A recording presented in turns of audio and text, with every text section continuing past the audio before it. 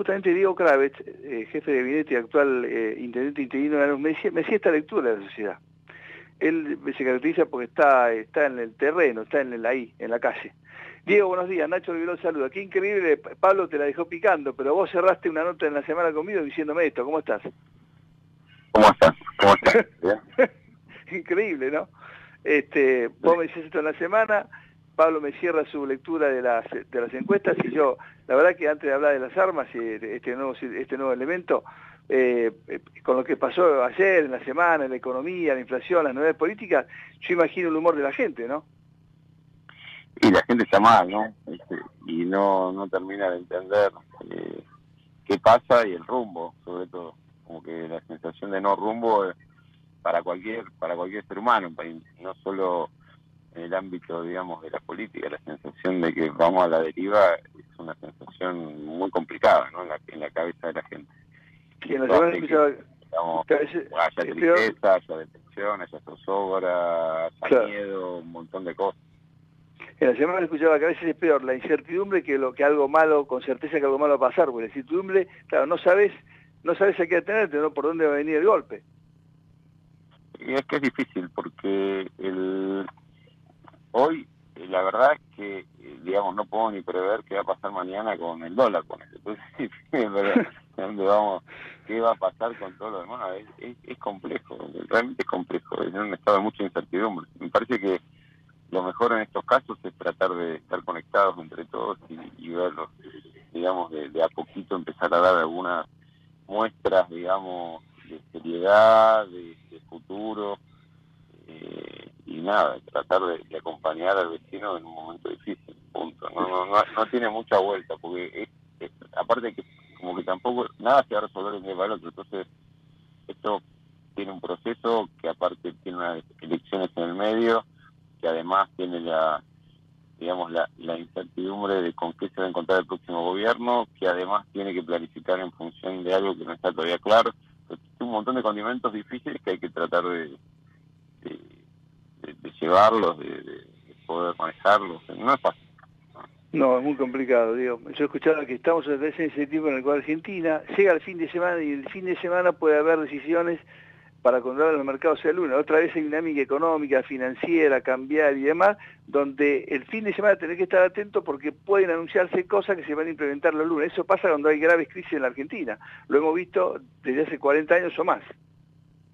Eso sí, eso sí, eso sí. Y va a ser, a ver, lo peor es que va a ser así un tiempo, por eso va a ser así un tiempo, o nos acostumbramos o la o la o nos acostumbramos, no, no, no hay misterio acá, porque el tema de la incertidumbre con la situación en que estamos, eh, si no hay hoy, digamos, hoy no, si no hay dentro de poco un cambio de gobierno, es imposible eh, que haya alguna certeza. Entonces, el cambio de gobierno va a haber en diciembre, no antes. Hay que esperar ahora. No hay otra alternativa. Claro. Estás hablando con Diego Caravez, eh, jefe de ambiente de Lanús y actual intendente interino. Vamos a las cosas. Ustedes han iluminado Lanús, han abierto calles, pavimentan, hacen todo el trabajo de infraestructura, pero por supuesto el, tema de inseguridad, que a veces es interjurisdiccional, pero que es grave en el, en el conurbano.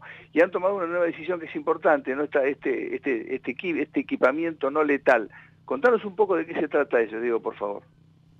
Nosotros estamos implementando en nuestro municipio la utilización de unas armas no letales que se llaman BIRMA, que las fabrica Barça en Argentina y que lo que hacen es, eh, digamos, provocar eh, la detención del agresor sin eh, tener un esquema de letalidad. O sea, en vez de, detener la agresión con un arma de fuego, esto lo que te permite es detener la agresión con la utilización de municiones que son en unos casos de impacto y en o en otros casos de, gas pimienta, permite detener sin hacerle daño digamos, mortal al agresor ni a un tercero. Entonces, una, una posibilidad eh, nueva que se nos presenta es un alternativa es una alternativa a la, Taser, que es una alternativa más interesante por partes más baratas.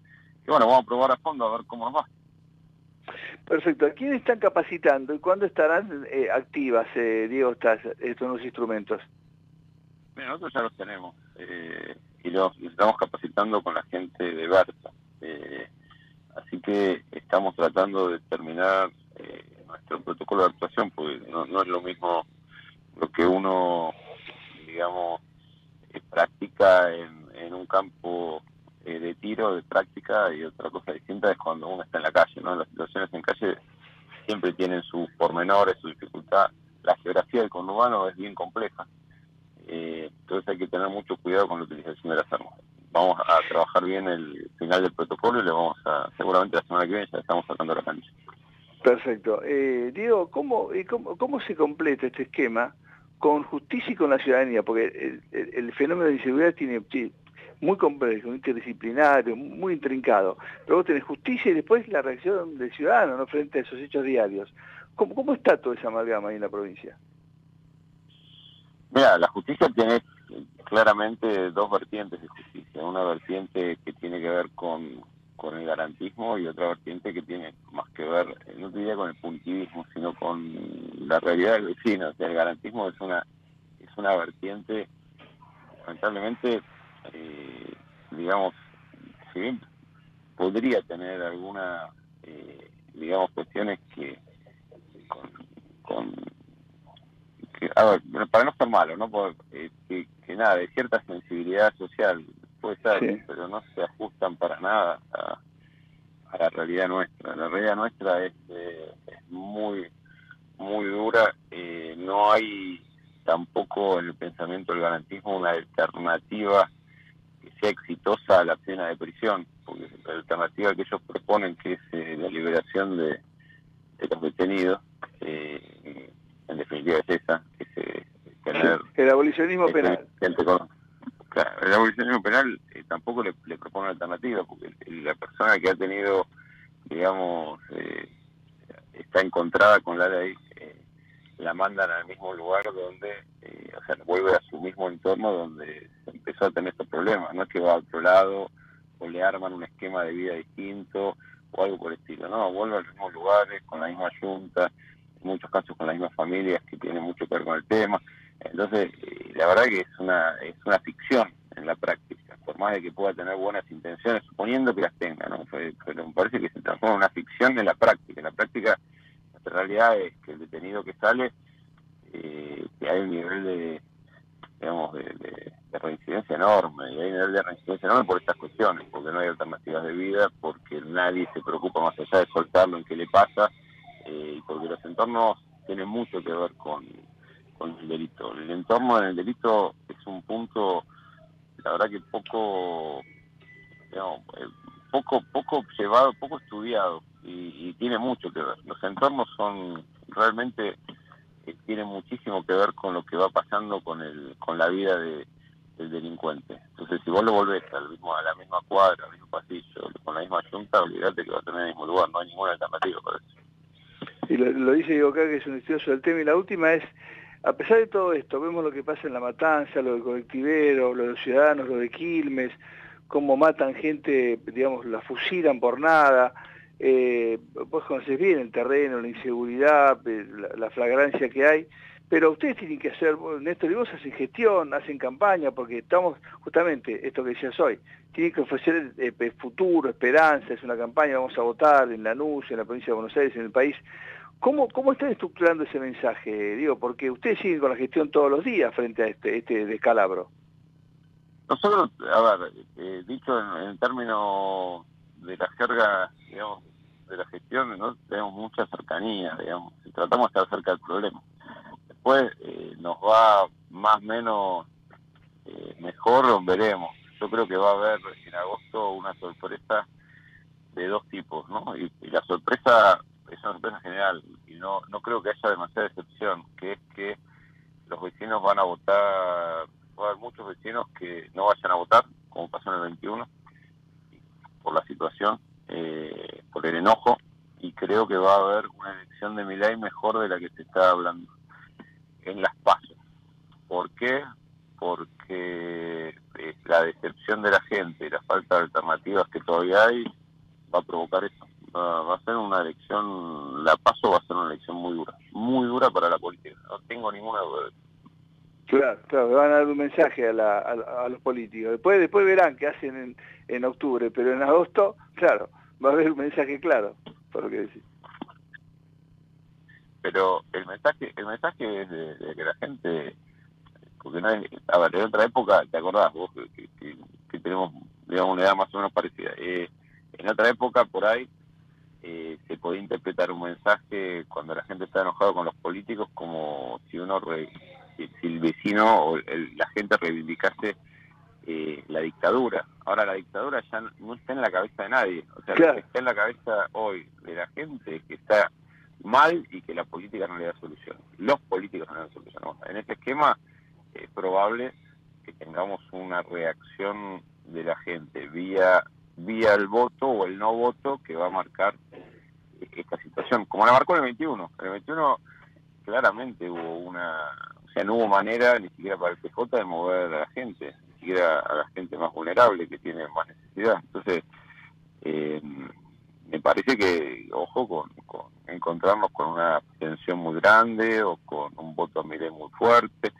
todo eso puede pasar en las pasos. Por ahí en la general eso cambia, por ahí en la general eso cambie, ¿por qué? Porque después nadie nadie se suicida, digamos, me parece que ahí ante las situaciones concretas el vecino empieza a, digamos, a tomar una, ya está, después de pegarte una, una paliza por ahí en las pasos, a la política después le da, le da una oportunidad a algunos, pero pero honestamente creo que va a ser, va, todo lo que viene va a ser muy duro, muy duro para la gente y, y va a ser un piñón para mí, para la política. Claro, y ahí tenés el tema de, justamente lo que decíamos, no sabemos el lunes qué va a pasar con, con los mercados, con todo eso, entonces eh, la gente está así, mala inseguridad, mala pobreza, la falta de trabajo, el, el, peso, el peso no vale absolutamente nada, ¿no? hay una depreciación terrible. Eh, lo, bueno es que la cercanía de ustedes ayuda. A mí lo que me parece raro es que el peronismo dice, no, bueno, mire, solamente le va a sacar, no, no, no, muchachos peronistas, pónganse la pila porque ustedes van a sufrir también ese, ese, ese ese desprecio y ese darse vuelta al ciudadano frente a ustedes. Y dice, no, no, alguno ha dicho, bueno, ojalá que siga creciendo mi ley desde el frente de todos, porque no, no, no, lean bien lo que puede pasar, me parece a mí. Yo creo que el, a ver, me parece que el oficialismo se está preparando para hacer oposición, que en este contexto está, está pensándolo y actuando, digamos, en estos términos. Me parece que las discusiones más fuertes van a ser en las listas de diputados, en las listas legislativas, básicamente, pues va a ser de donde se van a apalancar para hacer política. no Yo no creo que estén pensando hoy en ganar la nación. Me parece que es algo más allá de los errores políticos que pueda tener juntos, eh, es algo que me parece que, en el humor social está lejano. Entonces, eh, yo los veo, digamos, pensando los esquemas eh, de oposición para, para ver qué hacen en el 27. No los veo jugando a fondo para esto. Por ahí me equivoco, ¿eh? pero no lo, realmente no los veo. Claro. Eh, Diego González, muchas gracias. Eh, sabes que tenemos siempre a las órdenes. Veremos qué, nos depara la, última semana de abril. y estamos siempre atentos a las novedades, ojalá que rápidamente puedan instrumentar ese, estas armas no letales y bueno, y lo que hacen siempre, ¿no? la gestión, está cerca del vecino, que es la única forma en que uno le da un poquitito de, apoyo y de, compañía al ciudadano. Un fuerte abrazo y gracias como siempre por atendernos, Diego. ¿eh? Bueno, abrazo enorme y gracias por comunicarte, gracias. Muchas gracias. Diego Kravets es jefe de gabinete y actual intendente interino de Lanús, hablando con nosotros a propósito de la instrumentación de estas nuevas armas fabricadas por Versa, que tiene munición no letal,